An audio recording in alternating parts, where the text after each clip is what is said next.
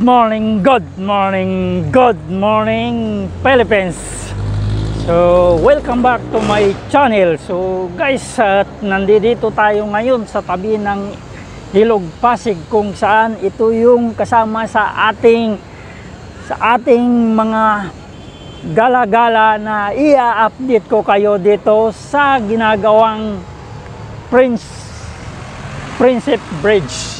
So ito yung sinasabi nilang Prinsip Bridge kung saan kasama yan sa build build build ng ating mahal na buting presidente na Mayor Rodrigo Rua Duterte. So president uh, ito yung kasama sa kanyang trabaho. Updated guys at uh, mga kababayan nandito tayo ngayon sa ginagawang Prinsip Bridge. Ito yung Prinsip Bridge na kung saan ay dito sa may Binondo patawid ng Intramuros kung ito'y matatapos guys ay malaking kaluwagan sa lugar na yan sa tulay ng Jones Bridge kung saan itong Jones Bridge na nagiging busy lagi yan araw, gabi so busy lagi yung karsada ay yung tulay na yan at saka yung karsada yan pero pag natapos itong lugar na yan yung Prinsip Bridge na yan na magdodugtong ng Intramuros, Binondo so giginhawa yung tulay ng Jones Bridge na yan. Kagaya rin ng EDSA.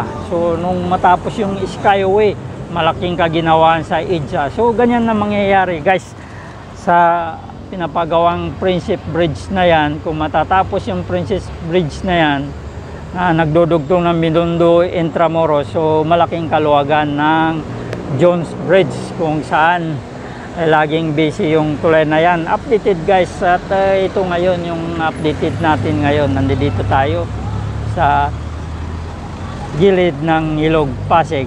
So yan ang updated natin sa ginagawang Prinsip Bridge. So malapit na rin matapos yan. So yan iso-zoom natin guys. So yan guys yung Prinsip Bridge kung saan ay tuloy-tuloy ang gawa. So ayan ang updated natin sa tulay na yan na Prinsip Bridge sa magdudugtong ng Binondo to Intramuros. Kung matapos yan ay malaking kaluwagan ng Jones Bridge. Kagaya rin ng Skyway na yan at uh, nagiging mahirap yung traffic dyan sa EDSA na yan. Nung mga tapos yung skyway na yan ay malaking kaginawaan sa EDSA so ito guys yung updated natin so mamaya tatawid tayo dyan at uh, pupunta tayo sa gilid ng ano immigration at uh, ilalapit ko kayo doon sa ano makuha na natin ng malapitan yung bridge na yan na ginagawa. So updated mga kababayan nandito tayo ngayon sa tabi ng Ilog Pasig kung saan ay na-update ko sa inyo dito sa ating bansa. Sa mga kasama sa pagbabago dito sa bansa. Itong mga tulay na ito na ginagawa ng ating mahal na Pangulo Rodrigo Rua Duterte kung saan ay uh, tuloy-tuloy lang ang trabaho. So guys uh, hanggang sa muli ito ang update sa inyo. So good morning good morning mga kababayan. So titingnan natin ng malapitan. So babayo